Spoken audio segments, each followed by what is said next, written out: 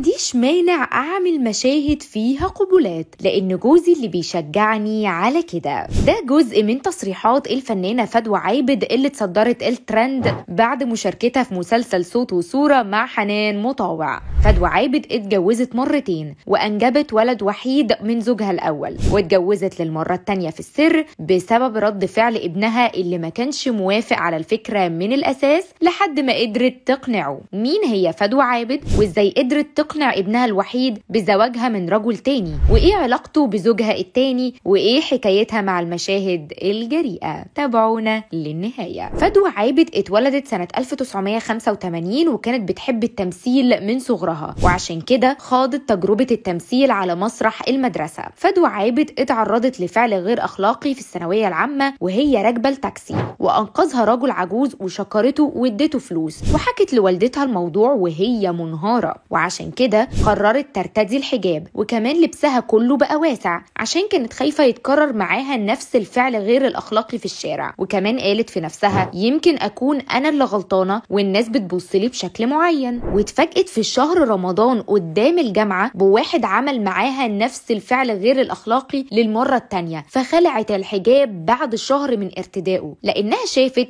إنه ما فرقش كتير وما منعهاش من المعاكسات ونظرات الناس في الشارع. واتخرجت فدوى من كلية التربية الفنية من جامعة حلوان وقررت تشتغل في مجال العقارات في شركة مش مصرية وفعلا حققت نجاح كبير جدا لدرجة إنها تولت منصب مديرة إدارة العقود الإيجارية. نشأت بينها وبين شاب قصه حب كبيرة واتجوزوا سنة 2007 وأنجبت ولد اسمه أحمد سنة 2008 بس حصل بينها وبين زوجها مشاكل وأزمات فقرروا ينفصلوا في هدوء. بعدها اشتغلت فدوى في الفن اللي بتحبه بالصدفة عن طريق صديقتها المخرجة هبة يسري. اللي سألتها عن رأيها في التمثيل وبعدها بسنتين كلمتها وطلبت منها تشاركها في مسلسل سابع جار مع الفنانة الراحلة دلال عبد العزيز ودي كانت البداية. اتعرفت فدوى على شاب من خارج الوسط الفني وطلب يتزوجها رغم إنه كان متزوج بس هي كانت مترددة وخايفة من رد فعل ابنها الوحيد وفعلا اللي حسبته لقيته لأنه رفض الفكرة من الأساس وهددها بإنه هيروح يعيش مع والده لو هي اتجوزت.